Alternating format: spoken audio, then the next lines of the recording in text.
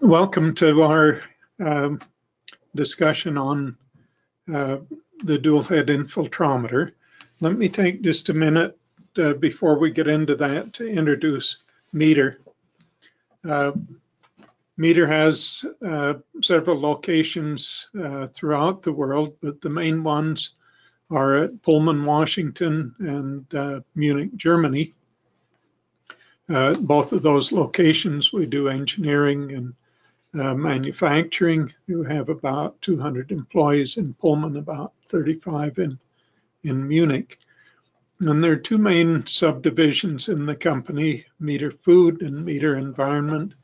Uh, METER Food focuses mainly on instrumentation for uh, food measurements. METER Environment uh, does uh, both above ground and below ground instrumentation uh, for measuring um, environmental variables. Uh, in METER environment, uh, I've just shown a number of the instruments that we build. On the left is uh, a particle size, automated particle size analyzer. Next thing over with the three prongs is the uh, is a soil moisture sensor. Next one over is a, uh, a matrix potential or uh, soil suction sensor. Uh, the larger thing with the blue ring around it is is a uh, mini weather station uh, that measures 12 variables. Next over with the black top is, is a data logger, uh, solar powered data logger that uh, has cell connections. And finally, uh, on the right is, is our uh, dew point potentiometer that measures soil suction over the whole range. So that gives you a feeling, those aren't all of the instruments, but a few of them that we do. Now, the one that we want to talk about uh, today specifically is the automated dual head infiltrometer measures field saturated hydraulic conductivity. Um, and we just have it shown schematically here, a device that uh, sits on the soil surface, another device that controls it, and a source of water. I'll start out just by talking about what hydraulic conductivity is. Um, it's a measure of the ability of, of a porous medium to transmit water. And to get a bit of a feeling for what that means, um, if we let I indicate the water flux, the amount of water per unit area per unit time, we can say that that's equal to uh, K, a hydraulic conductivity, multiplied by the gradient in head, dH dz. The head gradient is the force causing water to move in soil, and uh, the K is the proportionality factor between that driving force and the flux of water in the soil. We can expand the head out into its two main components. HM is the, the matrix head, and HG is the gravitational head. And so we have uh, matrix forces uh, causing water to move through soil and, and gravitational forces. Now, uh, the matrix or the gravitational gradient, uh, dHg dz is just equal to one. And uh, initially, as we apply water to soil, matrix forces are pretty strong and draw water into the soil pretty rapidly. But if we let infiltration occur for a long, long time to where the soil's uh, pretty wet, that uh, gradient in matrix head goes to zero. And so uh, at long times, the infiltration rate is roughly equal to the hydraulic conductivity. And that can give you some feeling for uh, actually what the hydraulic conductivity means. If we were to apply water for a long time, that uh, the rate at which the water would infiltrate into soil would be about equal to the hydraulic conductivity. A hydraulic soil can be either saturated or unsaturated. And so uh, the hydraulic conductivity can be either uh, saturated hydraulic conductivity or the unsaturated. Uh, the on in this graph, uh, the vertical line, vertical axis is at zero head, and values to the right of that are indicate saturated uh, conductivity values. Values to the left indicate unsaturated values. And if we take the line on the right in the center, um, that would be maybe a value that you might find for a sandy soil. Now, one thing to point out is that that vertical axis is a logarithmic axis. Think of differences in that as, as order of magnitude differences, factors of 10, not factors of one or two. And so if we look at, uh, say, a poorly structured clay soil, the, the lower line, it would have a saturated conductivity quite a bit lower than the sandy soil would.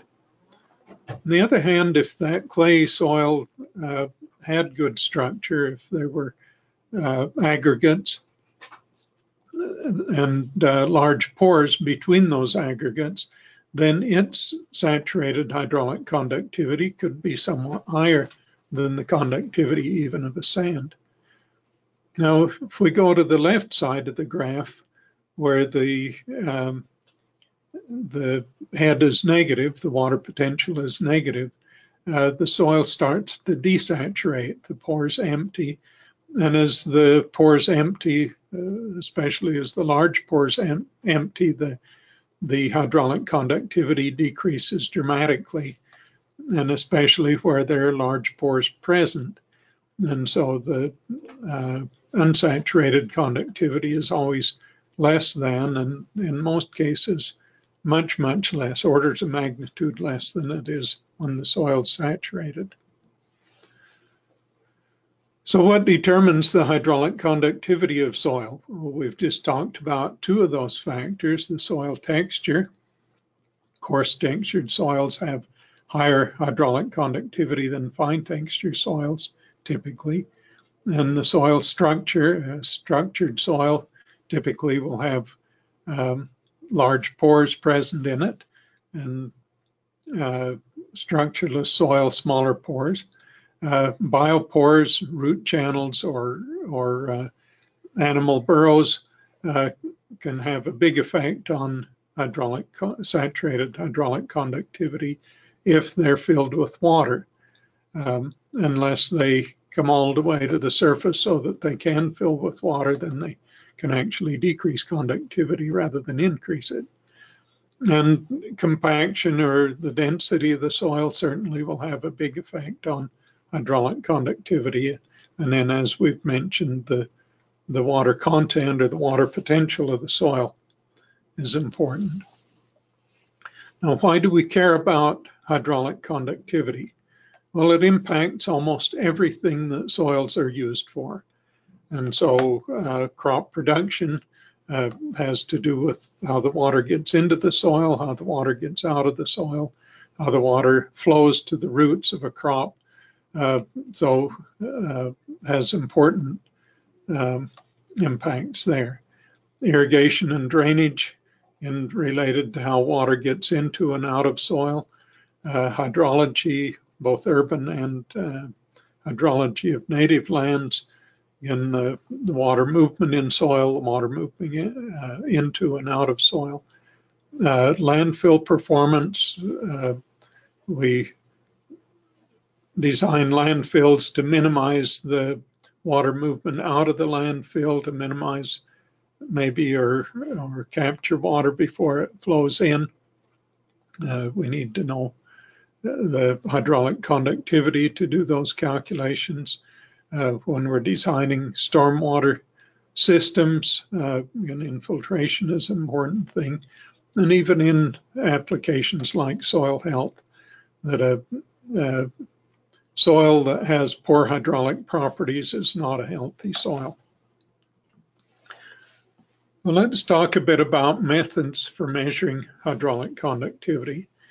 Mention just quickly a couple of laboratory methods that are useful. These um, are used pretty often uh, for characterizing soil hydraulic properties, but they require that we go to the field, uh, take a soil core, uh, try to take that in such a way that we disturb it minimally, and then bring that core back to the laboratory to make the measurement. Um, meter has a, a uh, device that will measure the saturated conductivity of that core. Inside the, the blue uh, part of this apparatus, you put a soil core that you've brought in from the field. You fill up the tube with water. Uh, you establish steady flow of water uh, through that soil core and you measure the rate of flow. And uh, from that, calculate the saturated conductivity. Uh, another device uh, that also is is something that we uh, that we build and sell here is called the Hyprop. Uh, measures the unsaturated hydraulic properties uh, of a sample of soil. Again, we go to the field, we get a soil core, we bring it back to the laboratory and put it on this device. The device has uh, two tensiometers inside it to measure the soil suction. Um, the water evaporates from the top of the soil column to establish a gradient within the column. We measure the rate of water loss from the column uh, using the balance. And then from the rate of water loss and the measurements of tension, uh, we're able to uh, determine both the moisture release curve and an unsaturated hydraulic conductivity function for the soil. Um, very few methods exist for getting that unsaturated conductivity function, but this does it nicely. Now I've just put one of those curves that comes out of that here. It's the moisture release curve for a soil, uh, Palouse silt loam in this case. Uh, the volumetric water contents plotted on the, the vertical axis and the logarithm or the water potential or uh, suction is plotted on the horizontal axis uh, as uh, log scale. Now, I don't have a graph here that shows the unsaturated conductivity function, but it, um, but we get similar detail to this with that function. Now, if we want to go to the field to make a, a measurement of hydraulic conductivity. We call that the field saturated hydraulic conductivity. We have several options.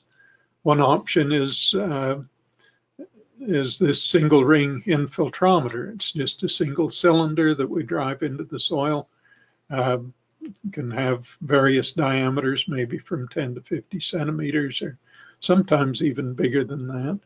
Uh, we can either maintain a constant water head in this and measure the water flow into it, or we can uh, do it as a falling head method, let the head decrease as water infiltrates and measure that. It's pretty simple. There are some publications even that, that call this the beer can method.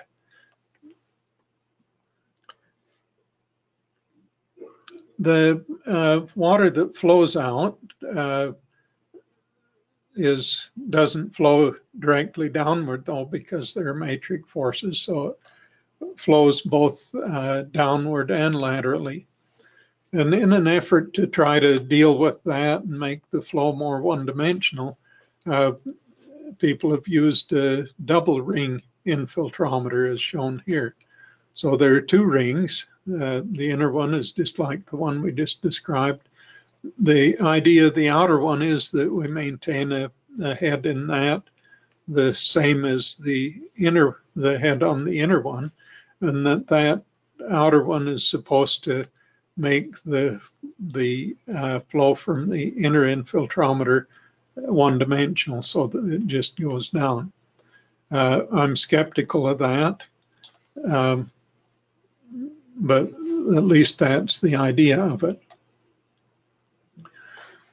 So one of our, our uh, researchers here at Meter uh, did his master's degree at Texas A&M University measuring uh, uh, hydraulic conductivity uh, in a fairly large area where that had been subjected to different kinds of land use. And the idea was to try to, to quantify the differences in hydraulic conductivity that resulted from the differences in land use.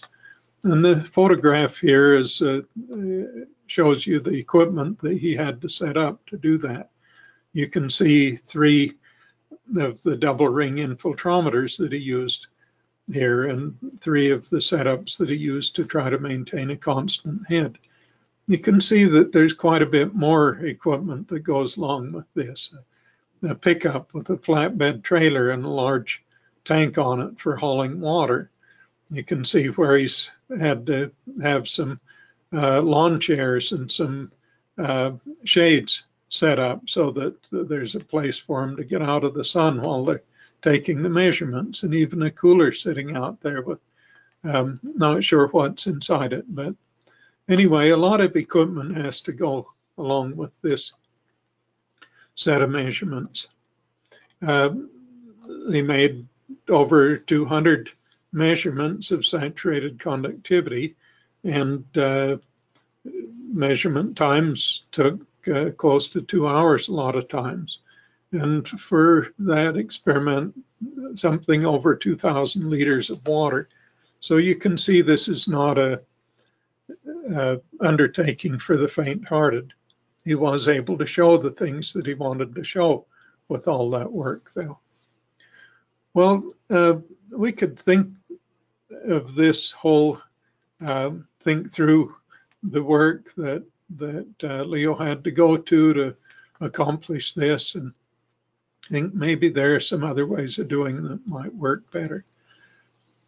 Some of the observations that would have come out of this is that hydraulic conductivity is spatially and temporally variable way more variable than we'd like it to be. It's hard to get enough measurements to really establish differences and to be able to model the kinds of things that go on in a field.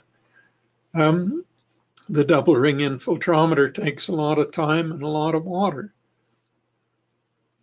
It might occur to us when we were hauling all of that water um, that it might be possible to use mathematics to eliminate the need for that second ring. Uh, there probably was a time when we were uh, limited enough in our mathematical capabilities that we would have needed to stick with just one dimension. But those times are long past, and uh, there's no reason why we can't do a can't use mathematics uh, to model flow from a single ring. It's hard to measure and control infiltration in head. It takes a lot of work, a lot of time to do it. Why not just do that electronically? And then finally, uh, sorptivity is the, the flow that uh, when you initially start an infiltration experiment, uh, the water flows a lot faster than it does after a period of time. That's because the matrix forces are drawing water into the soil rapidly.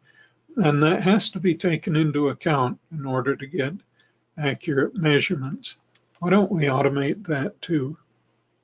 And so uh, the goals in designing the, the uh, dual head infiltrometer were to fully automate the measurement and control, to reduce the water requirements, to make it portable, uh, portable meaning not needing a pickup and a flatbed trailer necessarily. We still needed to have a wide range of hydraulic conductivities that we could measure. Um, we wanted to be able to characterize soil that would be used in in uh, lagoons, manure lagoons, and other places like that, as well as soil that was well structured in a in a cultivated field.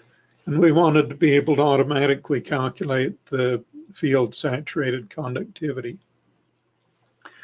Now, uh, the equations that apply to this, uh, we can start with the conductivity being equal to the uh, water flux I divided by a function f, uh, capital F. And that uh, function takes into account both the sorptivity and the three-dimensional nature of the flow out of a single ring infiltrometer. And we won't go into the details of that. Uh, those are given in a paper by John Nimmo, uh, published in 2009. But uh, we can see that the equation that he came up with here, that f was one plus uh, set of variables. And so if that set of variables of lambda plus d go to zero, why then f goes to one and we get that equation uh, we presented in the earlier slide, in the third slide, that uh, the conductivity is equal to the infiltration rate. But those other factors take into account the three-dimensional nature. Now, lambda is a, a, characteristic length of the porous medium, and we don't know what that uh, length is necessarily, and so it will be nice if we can eliminate that from our measurements.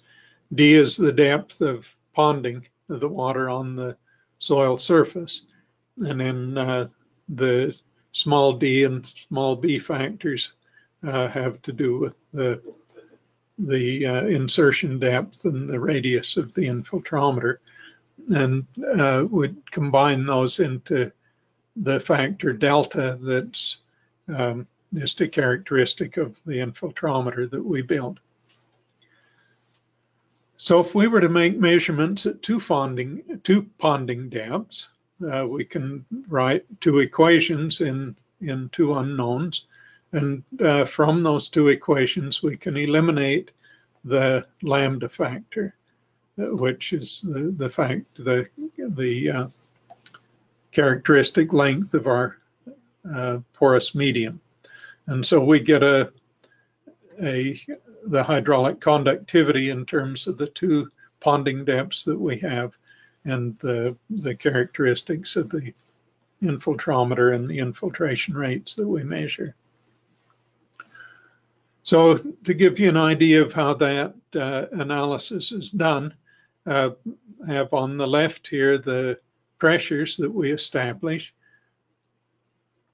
uh, the, the two different pressures, and we do this uh, in the past that's been done by uh, filling the the ring with to a greater depth or a lesser depth. But what we do is apply air pressure so that we can go quickly from one to the other and so that we can do that automatically. And then on the right is the flux. And uh, can, you can see the two infiltration values. We supply the water, control the water at a constant level um, and supply water with a pump that can measure that infiltration rate. Um, you can see the two depths that we have, and so we combine those to get the, the uh, hydraulic conductivity. So we control the water level electronically. Uh, there's a, a, level gauge inside that monitors that. We have a stepper motor that we can accurately measure and control the infiltration rate to maintain that level of water. And then we adjust the air pressure inside the chamber to get the two different heads uh, that we use for infiltration to, to get the dual head um, calculation.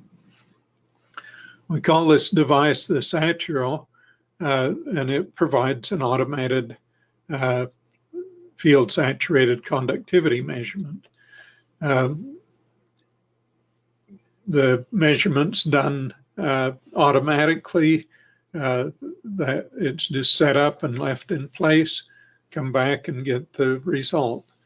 We've vastly reduced the water requirements by uh, both the algorithms we use and the fact that we use a single ring infiltrometer. Uh, it's portable, because the reduced water requirements. Uh, and we can measure a broad range of infiltration rates and then just gets, gives out the number that you want, the saturated conductivity. So got a couple of pictures here showing the installation process. Starts out uh, with the, the ring that's uh, pounded into the ground. Uh, you can see that on the left and on the right is the ring uh, installed and ready to go. Then the, the uh, cap that's put on the top of the ring and sealed to it. There's an O-ring so that uh, we can pressurize that chamber on the top and so that uh, the water level of about 10 centimeters can be established inside that. Tubes are hooked up to the control unit that's on the right. Uh, we set up the program that we want to run in the controller uh, then uh, hook up the water supply that's just a collapsible uh, plastic bottle and you go off and leave it and it sits there for a period of time, an hour or two, and makes the measurement that you want. You come back and it's all finished.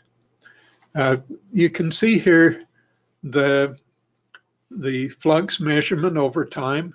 You can see that the due to the sorptivity, the infiltration rate starts high and uh, decreases over time. And then you can see the steps in that as the pressure is applied and the infiltration rate goes up.